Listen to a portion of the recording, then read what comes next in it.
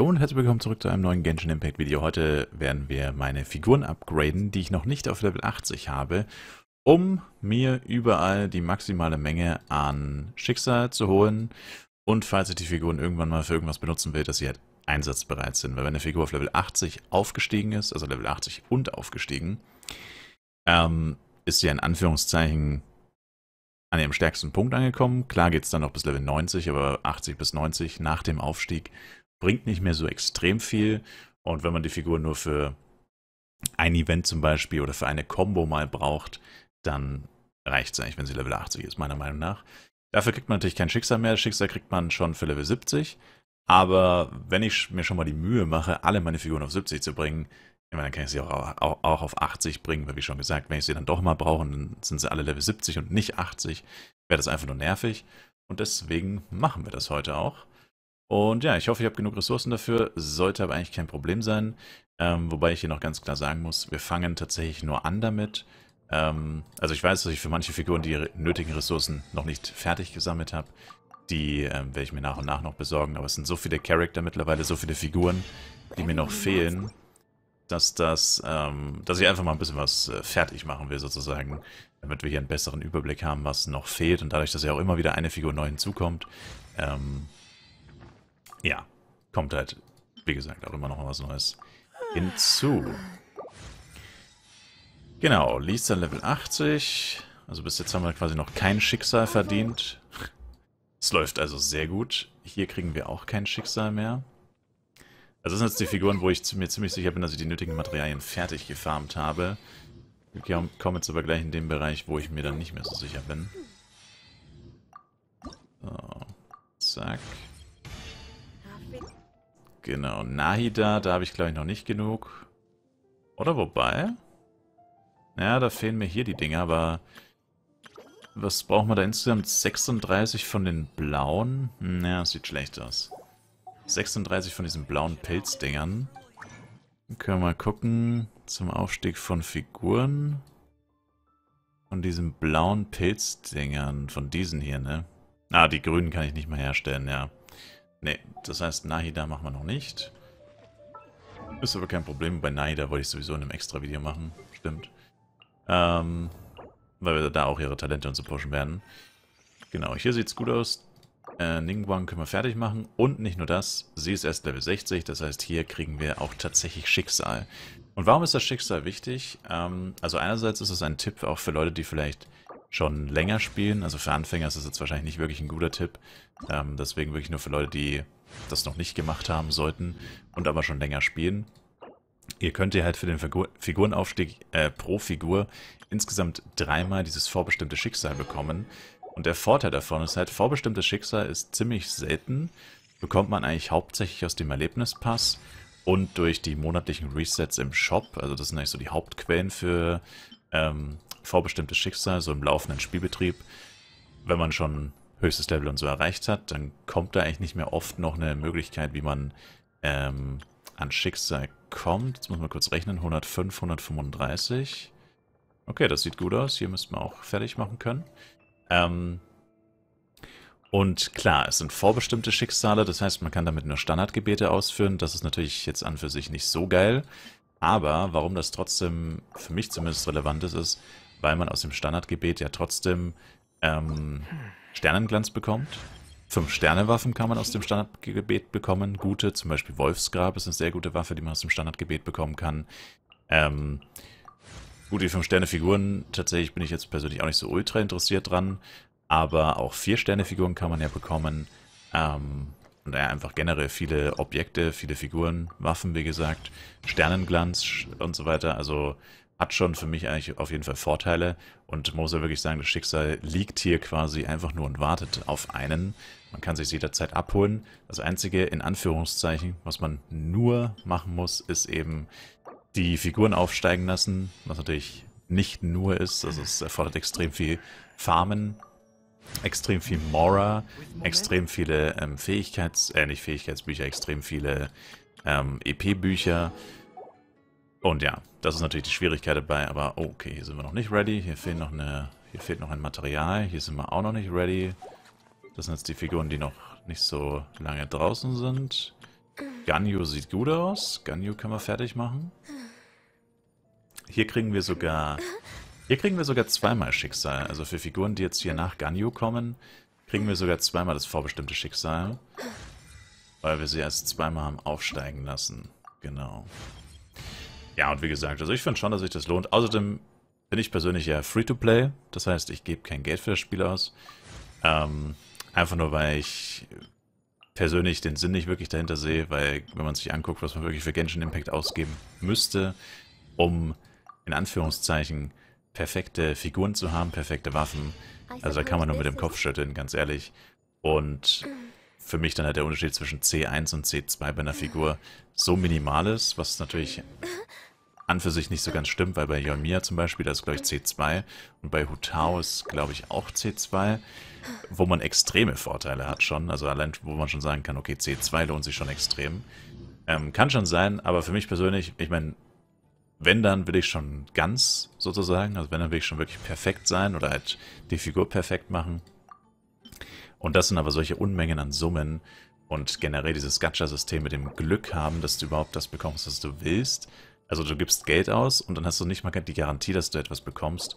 Das finde ich ist einfach persönlich für mich kein gutes System. Und äh, ja, von dem her habe ich mich da schon vor langer Zeit gegen sowas gestellt. Also wo ich persönlich quasi sage, das will ich mit meinem Geld nicht finanzieren. Und hier müssen wir mal schauen. 105, 135. 155 tatsächlich. Okay, haben wir genug. Aber ganz knapp. Ja, wie gesagt, also ich habe mittlerweile ein bisschen den Überblick verloren, weil es mittlerweile so viele Figuren sind, dass ich schon gar nicht mehr weiß, welche Ressourcen brauche ich überhaupt. Ja? Also es ist wirklich heftig.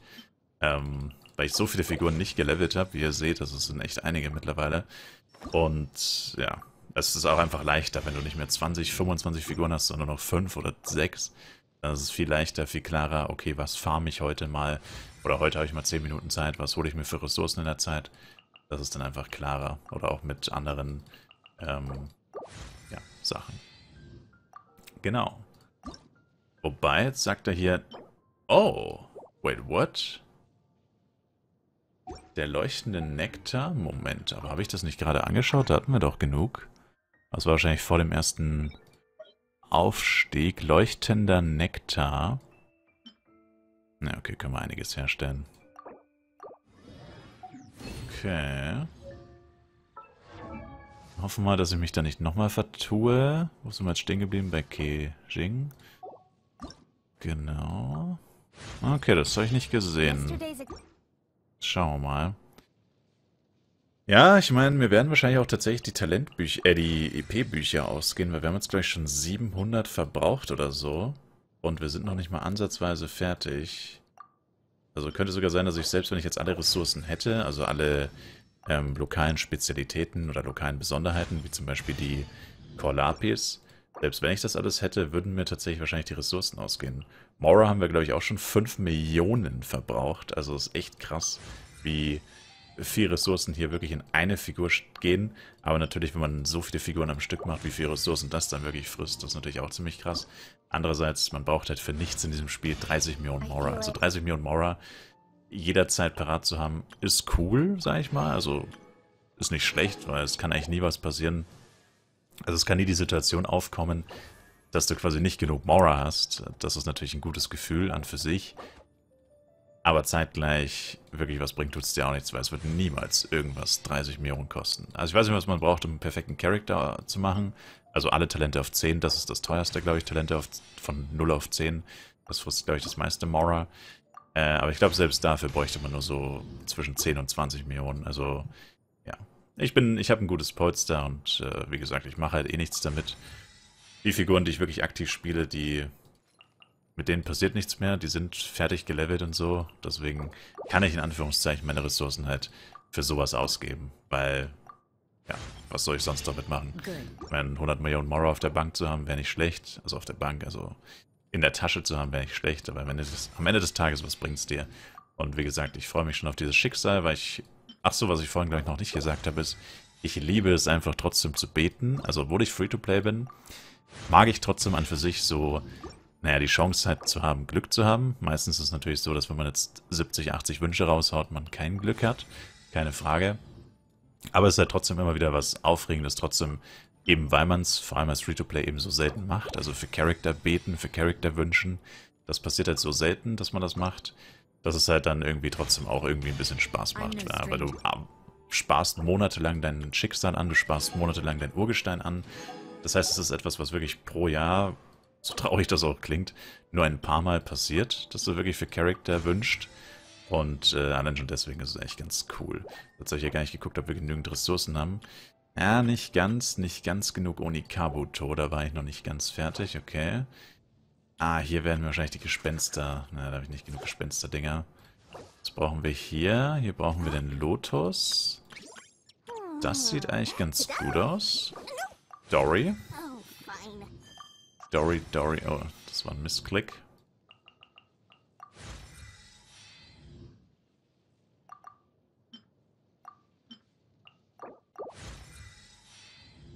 Interessant wäre jetzt noch gewesen, ähm, bevor ich das Video angefangen habe, wäre jetzt noch interessant gewesen, ähm, wie viele Charakter ich insgesamt noch nicht gepusht habe und wie viel jetzt fertig, wir jetzt fertig pushen. Aber dadurch, dass ich jetzt ja nochmal einen Cut mache, ähm, naja, ich weiß nicht, wann ich das Video hier jemals hochladen werde. Also ich hatte mir jetzt schon eigentlich gehofft, er hofft, besser gesagt, das vielleicht dieses Jahr noch fertig zu kriegen, also 2022. Ist in zwei Wochen vorbei.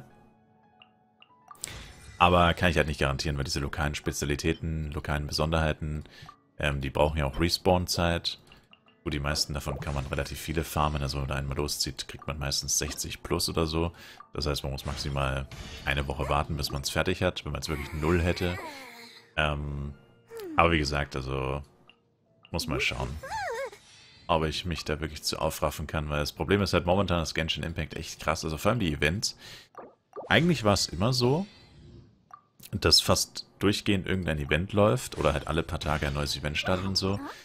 Aber gefühlt haben sie es doch nochmal ein bisschen erhöht. Also seit dem Update, seit dem dritten Update haben sie es ähm, nach meinem Gefühl nach nochmal erhöht, was sie wirklich an Aktionen raushauen. Teilweise überschneiden sich drei Aktionen plus natürlich die ganzen Web-Aktionen, zusätzlichen Aktionen, die Umfragen und so weiter und so fort. Meine, viele das, vieles davon frisst nur fünf Minuten am Tag, aber halt ohne Unterbrechung. Also das ist quasi selten ein Tag, wo du gar nichts machst oder so. Und das ist halt das, was ich meinte. Das war halt früher, glaube ich, schon ein bisschen anders. Ich glaube, früher war es schon weniger. Ähm, zumindest meine ich das. Ja, vielleicht ist es auch wirklich äh, falsche Erinnerung, also dass ich mich da wirklich falsch dran erinnere. Aber ja, momentan ist es wirklich gesagt echt heftig. Also man hat eigentlich nie nichts zu tun und kommt nur selten wirklich dazu, mal Sachen nachzuholen, die man ähm, machen wollte. Und das macht es halt noch schwieriger, Content nachzuholen, den man sozusagen verpasst hat. Aber gut, jetzt sind wir hier eigentlich fast fertig. Leuchtpilze, sieht gut aus. 168 braucht man übrigens immer. Also von diesem ähm, besonderen Material, also regionale Besonderheiten sind das, äh, wie Corlapis zum Beispiel und so. Ähm, davon braucht man immer 168, wenn ihr einen Charakter pushen wollt, maximal. Das ist ein ganz guter Richtwert. Dann auf jeden Fall genug. Ja, so langsam 26 Millionen Mora noch. Schon krass, wenn man bedenkt, dass das vor ein paar Minuten noch 8 Millionen mehr war. Aber ich finde halt wirklich, also die Aktionen und so sind wirklich so großzügig. Das Einzige, wo sie halt natürlich extrem rumgeizen, ist natürlich Urgestein. Wobei letztens hat man einfach so 800 Urgestein bekommen. Dafür, dass die bei dem Gaming Awards oder E-Sport Awards oder was auch immer das war, äh, dass sie da irgendwie irgendeinen Preis gewonnen haben oder so.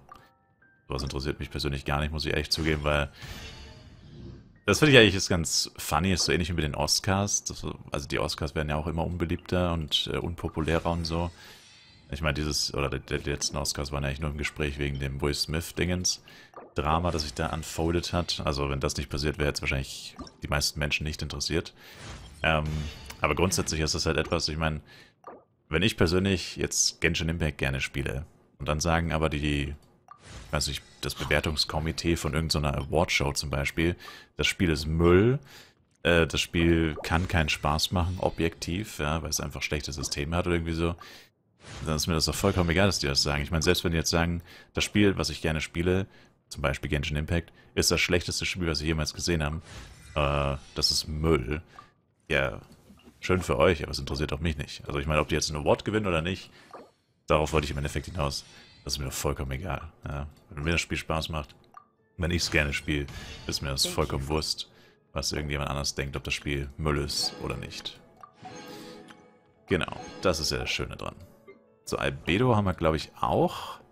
Nein, haben wir nicht. Hier fehlen mir zwei Cecilias, aber die kann ich mir schnell holen. Das wäre jetzt nicht das Problem. Candice haben wir nicht genug.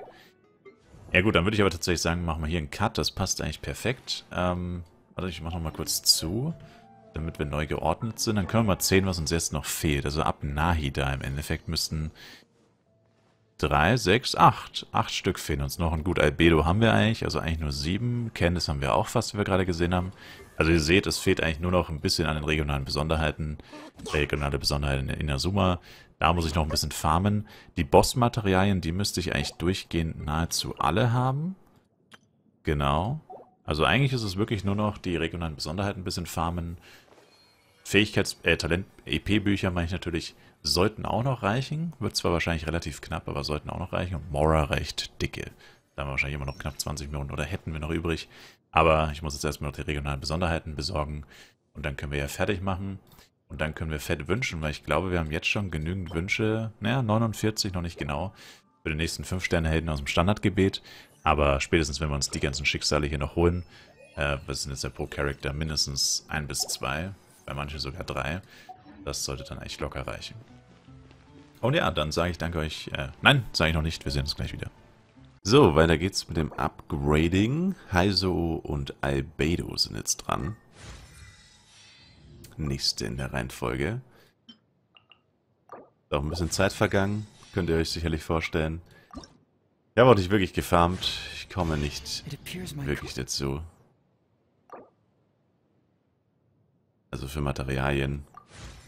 Weil mir halt echt nicht viel fehlt. Also es ist echt äh, überschaubar eigentlich. Es sind halt ein paar Sachen, die man einfach mal farmen müsste. Und das wär's. Aber, ja, wie gesagt, ich komme nicht dazu. Aber die Onikabuto habe ich jetzt zusammenbekommen. Und bei Bedo haben eh nur zwei Cecilia gefehlt. Die zu bekommen geht halt ultra schnell. die habe ich mir jetzt schnell geholt. So. Ich brauche tatsächlich noch über 20 Wünsche, um den nächsten garantierten 5 Sterne aus dem Standardbanner zu holen. Also wir müssten wirklich jeden Charakter fertig machen. Und selbst dann hätten wir wahrscheinlich nicht genügend Wünsche. Dann würden immer noch ein paar fehlen. Deswegen ist die Motivation wahrscheinlich auch nicht so hoch. Also selbst wenn ich jetzt machen würde, ähm, ja, können wir nicht wünschen. Beziehungsweise kriegt kein 5-Sterne-Held. Garantiert. Und das war ja der eigentliche Hintergrund von dem Ganzen. So, fertig. Level 80. Ja genau, dann können wir uns hier die zwei Dinger holen. Zack. Zack. Dann Albedo.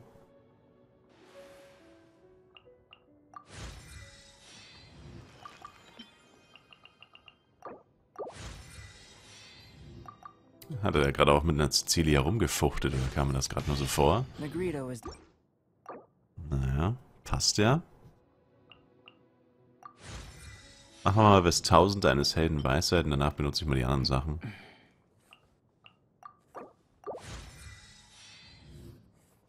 Falls wir überhaupt noch so viel brauchen. Hm. Oder ich benutze gleich mal die anderen Sachen. Damit man einen besseren Überblick hat, wie viel Materialien man noch so hat. Boah, 116 kostet es. Schon teuer.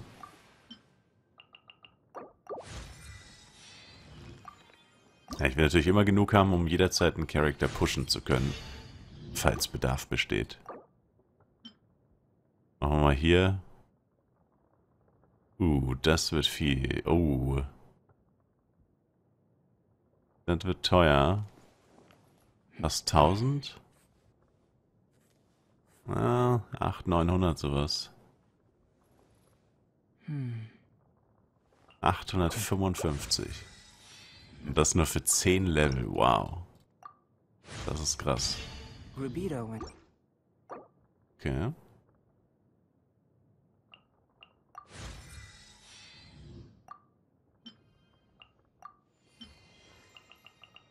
Zack. Und Aufstieg. Und jetzt droppen wir unter 1000, glaube ich. Ja, nicht ganz. Bam. Und fertig. Noch zwei Charakter in der Sammlung, die ihre maximale Aufstiegsstufe erreicht haben. Sehr schön. Jetzt fehlen noch eins, zwei, drei, vier, fünf, sechs. Ja, ist überschaubar. Weiter geht's mit Candice. Ähm, ich bin kurz davor, es bei allen Charakteren jetzt abzuschließen. Für heute, also für jetzt besser gesagt, ihr seht das ja, ja, das ist ein Video. Erstmal nur Candice, damit es einfach ein bisschen übersichtlicher wird. Danach habe ich dann noch fünf Figuren übrig. Und wenn ich mich nicht komplett verschätzt habe, müsste das dann auch genau reichen. Zumindest mit dem neuen Erlebnispass noch, der aktuell läuft. Wo man ja auch für jedes zehnte Level immer noch einen Wunsch bekommt fürs Standardbanner. Müsste das dann reichen, dass wir da auf jeden Fall einen 5-Sterne-Helden aus dem Standardbanner wieder bekommen, einen garantierten. Und außerdem natürlich auch äh, ja, sehr viel Sternglanz für die verwobenen Schicksalswünsche sammeln können. Ihr seht schon, meine eines Helden Weisheit ist ganz schön runtergegangen. Aber dafür haben wir von den schlechten Fähigkeitsbüchern wieder extrem viele bekommen. Wow. Das sind echt extrem viele. Und von den mittleren mal ein paar wegballern, oder? Würde ich sagen. Zack. Und hier, wo wir 3000 Stücke haben, da können mal einige weg, würde ich sagen. 170, na gut, so viel sind das tatsächlich gar nicht. Finde es halt immer, immer noch so seltsam, dass du, wenn du eine, eine Figur von 0 auf Full pusht, dass dann da EP verloren geht. Das verstehe ich einfach nicht. Wie, wieso wird das so komisch berechnet? Das ist safe Absicht, aber wieso ist das so? Dass es sich genau einfach ausgeht. Das habe ich von Tag 1 nicht verstanden, warum ich jetzt hier 75 EP verliere, sozusagen. Aber egal. So, eines Helden Weisheit sinkt jetzt auf... Äh, ne, auf nichts. Nicht auf 100.000, das dachte ich eigentlich. So. Und dann müssten wir... War sie schon Level 20? Nee, oder? Genau. Müssen wir jetzt drei Wünsche nur von Candice bekommen haben. Yes. Drei Wünsche, let's go. Sehr gut. Und damit ist Candice fertig und die fünf, die noch fehlen, sind Nahida, Sayu, Kolai, Kamisato Ayaka und Kuki Shinobu. Die folgen dann gleich. Weiter geht's mit Sayu, die ist schon Level 50 tatsächlich. Das heißt, hier haben wir nicht ganz so viel, was wir machen müssen. Oh, Sound ist noch nicht da. Genau, hier haben wir, noch nicht, hier haben wir nicht ganz so viel, was wir machen müssen. Aber ein bisschen was geht schon noch. Und es wird immer weniger. Die Anzahl der Charaktere, die wir noch pushen müssen, nimmt stetig ab. Das ist sehr gut. Materialien sammeln dauert schon ziemlich lange, also das äh, kann ich euch sagen. Also Bossmaterialien sind natürlich am schlimmsten, aber gut, die habe ich schon Monate im Voraus gefarmt vor dieser Aktion sozusagen. Aber das Schlimme sind dann die zusätzlichen Materialien, die man dann einfach nicht hat, weil man die aus Gebieten bekommt, in denen man einfach nie ist. Das ist schlimm, sage ich euch. Achso. Lass uns noch fertig aufsteigen. Dann ist auch sie fertig. Und wir kriegen leider nur einen Wunsch für den ganzen Aufwand. Als nächstes kommt Kuki Shinobu. Hier haben wir leider schon die erste Aufstiegsbelohnung bekommen. Also das erste vorbestimmte Schicksal. Aber, naja. Nichtsdestotrotz wollen wir uns die anderen beiden natürlich auch noch holen. Und dann, wie gesagt, Endspurt haben wir nur noch zwei Charakter, stand jetzt vor uns, aber da ich Yao Yao und Alhafen beide nicht kriegen werde, ist es eigentlich unmöglich, dass ich hoffentlich vor Ende dieses Videos noch einen weiteren neuen Charakter bekomme, den wir dann auch wieder leveln müssten. Achso, nee, es sind noch drei, aber meint, es sind noch, äh, habe ich gerade zwei gesagt? Es sind noch Ayaka, Nahida und ähm, Kolai. Aber bei Gut, bei Ayaka ist tatsächlich so, da fehlen mir nur noch ein paar Sakura-Blüten. Das dauert eigentlich nicht mehr so lange. Und noch ein paar Handschutze von diesen Kairagis. Und bei den anderen beiden fehlt mir eigentlich überall nur die regionale Besonderheit. Und zwar die Handschutz... Äh, nicht die Handschutz, die äh, Lotusblüten und die Pilze. Aber eigentlich auch nur ganz wenig von beiden. Also eigentlich nicht so wild. Eigentlich nicht so wild. So. Und zack, Aufstieg. Damit ist Cookie Shinobu auch im Club voll aufgestiegen. Und wir kriegen zweimal wieder vorbestimmtes Schicksal. Let's go. So, upgraden geht weiter. Jetzt haben wir endlich Nahida auch fertig. Und nicht nur Nahida, sondern auch Kolai. Und jetzt fehlt nur noch Ayaka. Jetzt brauche ich nur noch Materialien für Ayaka. Ähm, da muss ich jetzt leider auf den Respawn warten. Also ich habe zwar nicht alle Sakura-Blüten eingesammelt, weil ich faul bin. äh, die komplette Sakura-Blütentour zu machen, das dauert ein bisschen. Aber ich muss sie nur noch einmal machen, dann haben wir auf jeden Fall genug. Also ich brauche jetzt gleich noch so ungefähr 30 bis 40 Stück und 40 kriege ich auf meiner faulen Tour sozusagen echt easy zusammen. Und ja, das heißt, in zwei Tagen kann ich das ganze Projekt hier abschließen. Und dann können wir quasi wünschen, weil ähm, ich habe dann genügend, also ich müsste genügend Wünsche hoffentlich für einen garantierten 5-Sterne-Pull haben. Und im Zuge dessen müssten wir echt so viel Sternenglanz bekommen, dass wir einige Wünsche kaufen können für das Aktionsbanner, wo jetzt bald der Hutao Rerun kommt, auf den ich jetzt schon seit November spare, glaube ich. Oder Dezember? Ne, November. Setzt mal, dass ich gepult war für Nahida tatsächlich.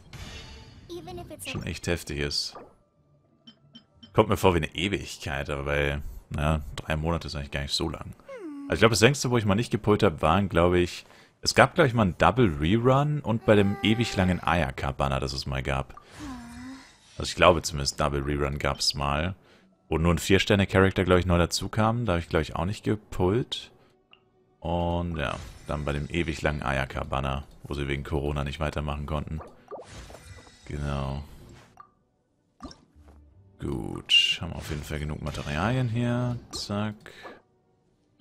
Ja, so langsam gehen meine Fähigkeitsbücher schon runter. Hat lange gedauert, aber sieht gar nicht mehr so gut aus. Machen wir so. Machen wir den Rest noch mit denen, weil habe ich noch 1900.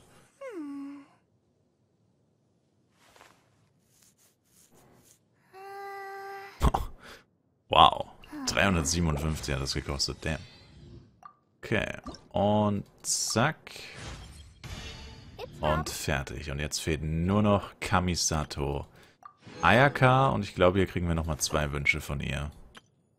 Genau, und ja, ich brauche insgesamt noch 60, 105, 135, 155, also noch 31 Sakura-Blüten. Alles andere habe ich. Und genau, da warte ich jetzt quasi auf den Respawn. Und wenn wir die haben, dann müsste es eigentlich losgehen.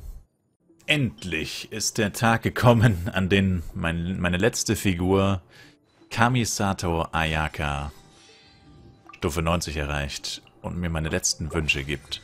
Und lustigerweise sind die Wünsche, die ich jetzt durch sie bekomme, für Standardgebet, sind tatsächlich die letzten beiden, die mir fehlen, um garantiert eine 5-Sterne-Figur zu kriegen. Also ich glaube, ich habe dann 74 Wünsche, wenn mich nicht alles täuscht.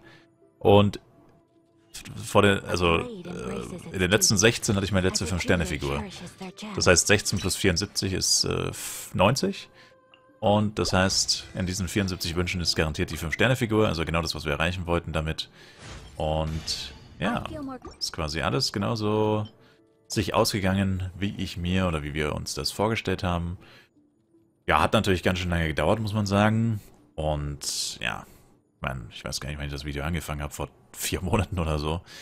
Ähm, ja, ist egal. Also gehört dazu, mal ein bisschen grinden. Ich meine, ich habe mir die ganzen Figuren geholt und wenn man sie irgendwann mal spielen will, wenn man dann erst loslegen muss mit dem Farmen, wenn die alle schon ein gewisses Level haben und man sich nur noch, also in Anführungszeichen nur noch, ich meine, die Artefakte sind eigentlich wesentlich schwieriger zu bekommen, aber wenn man sich dann in Anführungszeichen nur noch um die Artefakte und die ähm, Waffen kümmern muss und so, ist das doch schon deutlich besser, als wenn man noch alles vor sich hat. Und deswegen ist das ganz nice, dass wir es quasi schon abgeschlossen haben.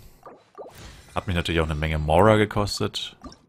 Aber ich meine, was will ich mit, was will ich mit Character-EP-Büchern, wenn alle meine Charakter quasi nicht ganz auf Maximallevel sind, aber nahezu. Was will ich da noch? Oh, Moment, wir sind schon Level 80. genau, was will ich da noch mit Fähigkeitsbüchern? Brauche ich ja da nicht mehr. Äh, Erfahrungsbüchern meine ich. Also für die nächste Figur, die man bekommt, okay, aber braucht man nicht 5000 davon. Und ja, damit sage ich vielen Dank fürs Einschalten. Ich würde sagen, nächstes Mal kommt dann unser endlich 90 Standardgebete bzw. 5 Sterne Standardgebete Figur Video. Bis dahin, haut rein. Ciao, ciao.